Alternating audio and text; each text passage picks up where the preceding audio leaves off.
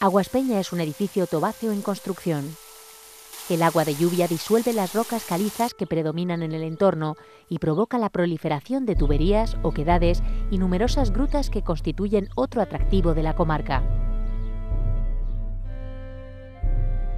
Cuando el agua subterránea aflora a la superficie y forma manantiales, el carbonato cálcico precipita y al solidificarse forma la toba calcárea, una roca muy porosa que construye en ciertos lugares espectaculares monumentos minerales como este, recubiertos a menudo por musgos y diversos tipos de vegetación. Pero estos edificios tobáceos están también en una lenta y constante transformación, creciendo gracias al agua que circula por ellos.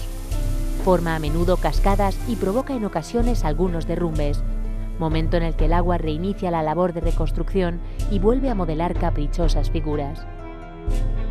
Al mismo tiempo, otra parte se encuentra inactiva ya que sus torrentes se secaron, obstruyeron o desviaron y dejaron las impresionantes estructuras verticales plagadas de cuevas por las que discurre la senda del visitante, que culmina en lo alto de la cascada y en el nacimiento del manantial que da vida a este hermoso y mágico lugar, asiento de los hombres desde tiempos inmemoriales.